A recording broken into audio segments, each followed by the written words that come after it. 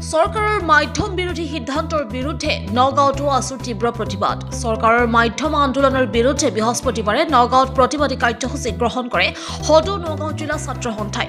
নগাঁও জিলা ছাত্ৰ সন্থাৰ মুখ্য কাৰ্যালয়ৰ পৰা উলিয়াই প্ৰতিবাদী সমদল। সমদলত চৰকাৰৰ বিৰুদ্ধে নানা শ্লোগানেৰে উত্তাল প্ৰতিবাদ সাব্যস্ত কৰে। মাধ্যম বিৰুদ্ধে সিদ্ধান্ত গ্ৰহণেৰে চৰকাৰে মাতৃভাষা হত্যা কৰিব বিচাৰিছে বুলি অভিযোগ উত্থাপন কৰে নগাঁও জিলা ছাত্ৰ সন্থাই।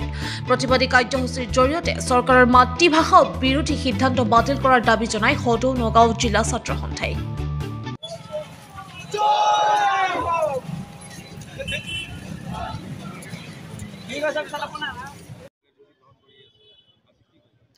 আজি আমি সদৌ অসম ছাত্ৰ সন্থাৰ আহ্বান মৰ্মে আজি নগাঁও জিলা ছাত্ৰ সন্থাই অসম চৰকাৰৰ যি মাধ্যম বিৰোধী সিদ্ধান্ত তাৰ প্ৰতিবাদত আমি বিক্ষোভ কাৰ্যসূচী গ্ৰহণ কৰিছোঁ আৰু ইয়াৰ পৰাই আমি ৰজাঘৰীয়ালৈ এটাই দাবী জনাব বিচাৰিছোঁ যে তেওঁলোকে এন চি আৰ টিৰ কথা কয় ৰাষ্ট্ৰীয় শিক্ষানীতিৰ কথা কয়।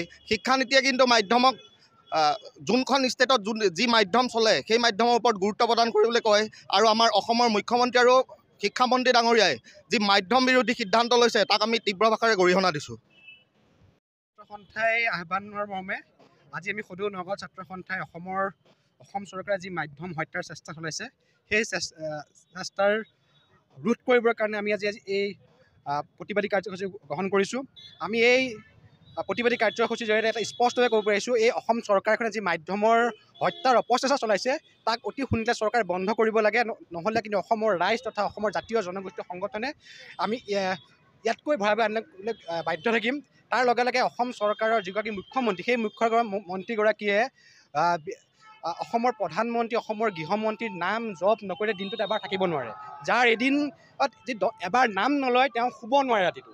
সেইগৰাকী মুখ্যমন্ত্ৰীয়ে প্ৰধানমন্ত্ৰীগৰাকী আৰু গৃহমন্ত্ৰীগৰাকীয়ে মাধ্যম মাধ্য যিটো সদায় আঞ্চলিক মাধ্যমত পঢ়াৰ কথা কৈছে মেডিকেল শিক্ষা হওক বা আন আন বিষয়সমূহ আঞ্চলিক মাধ্যমত পঢ়াৰ কথা কৈছে সেই গৃহমন্ত্ৰী আৰু মুখ্যমন্ত্ৰীগৰাকীৰ তেওঁ তেওঁৰ কথাৰ ৰখা নাই।